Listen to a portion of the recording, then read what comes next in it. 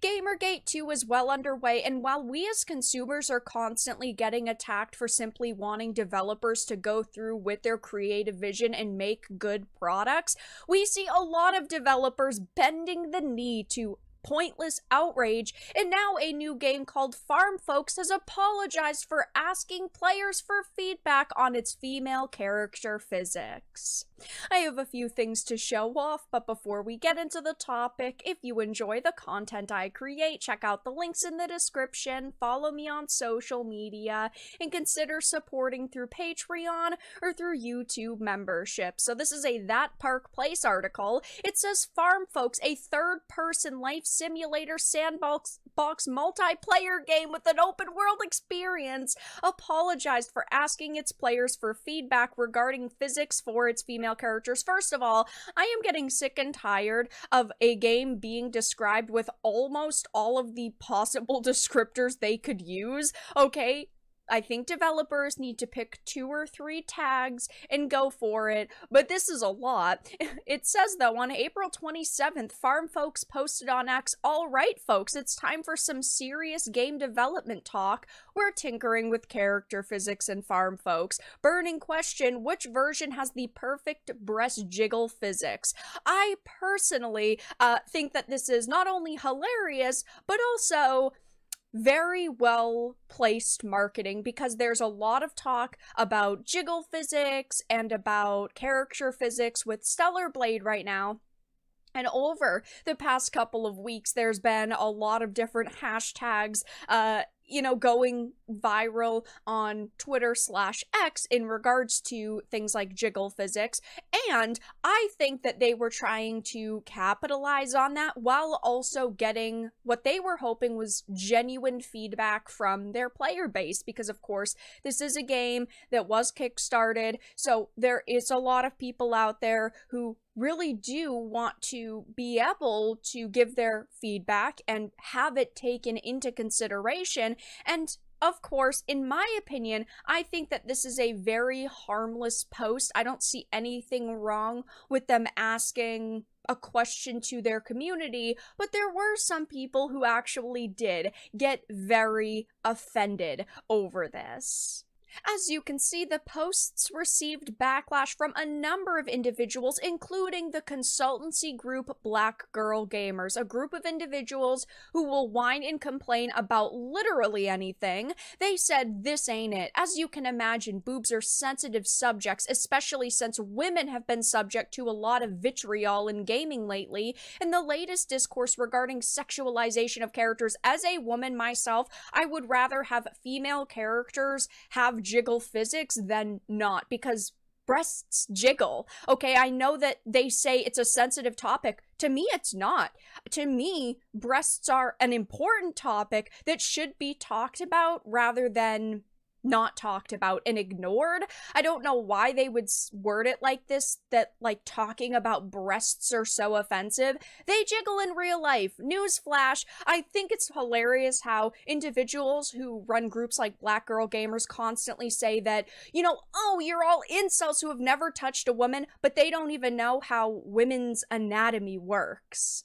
They also said, additionally, if your bio disclosed that the game is meant to be an adult farming simulator, that might curb people's reactions to this post a little bit. Clearly, they did absolutely no research into this game because while it does not currently have an ESRB rating, it will most likely receive a T for teen because it's got guns and PvP. So why are we attacking a game that's not a children's game over them asking about jiggle physics? It's not going to be an E for everyone. It is more akin to something like Fortnite. It's very stylistic like Fortnite. There are stylized guns like Fortnite. There is going to be PvP, meaning there is almost no possible way that this is going to get an E for everyone. And they might have had a leg to stand on if it was an E for everyone game and they're asking about jiggle physics, but it most likely won't be. And of course, this all comes across as really pathetic because now we have a situation where not only do people start defending them, them against, you know, narrative consultation companies like Black Girl Gamers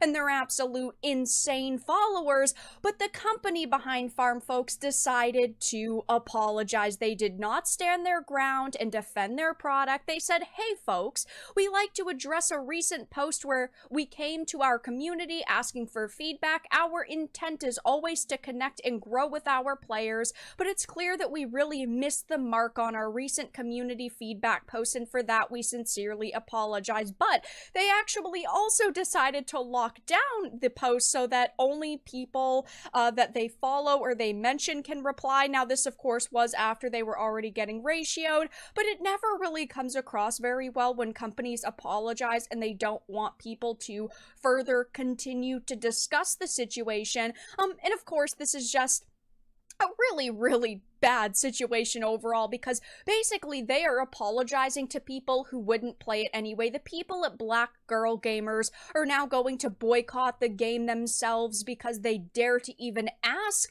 about the jiggle physics to the community. So this apology doesn't mean anything to the people that they had to apologize for a apparently offending because normal people were not offended by them simply asking the community for feedback. It is always fantastic when companies ask their communities for feedback, especially again, a game like this that was kickstarted. So the only reason it exists in the first place is because people monetarily supported them and supported their vision for this game. And honestly, after watching, you know, some of the videos that they've released and seen some of the screenshots, it didn't look half bad. But now there are going to be a ton of people who are going to refuse to support it because they have apologized and again, apologize to people who were never even going to play their game in the first place. Like I mentioned though, even though they've locked down the replies, there are still quite a lot here and people are roasting them, saying things like, damn fam, never apologize for the memes and good times, still looking forward to checking out the game though. Be glad your post did attract new eyes, and it's it is true, it did attract a lot of attention over a very short amount of time, and I'm sure that they are going to gain some sales from this situation, people who want to go against Black Girl Gamers and prove that this game, you know, is a good one, who who knows? But at the same time, there are still people who are like, ah, you bent the knee, I'm not going to support you now. Uh, so let me see if I understand this here. You made a sincere community post. A gaggle of toxic non customers were incredibly rude to you by intentionally misinterpreting your words in the least charitable way possible, and so you're apologizing to them.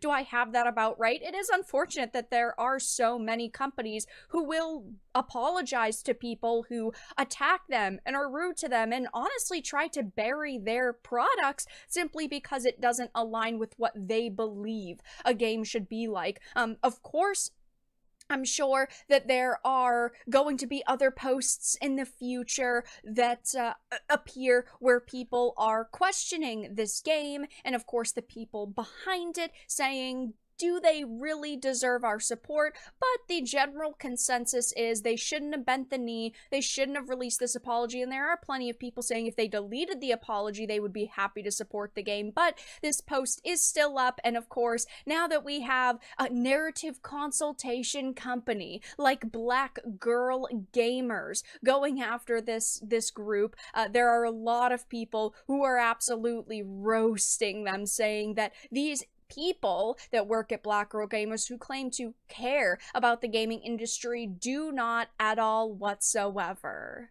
But that's all that I really had to discuss in this video. Let everyone know your thoughts in the comments down below. If you enjoyed this, give it a like, and if you didn't, give it a dislike. I appreciate your support either way, but I will talk to you all again in the next video really soon.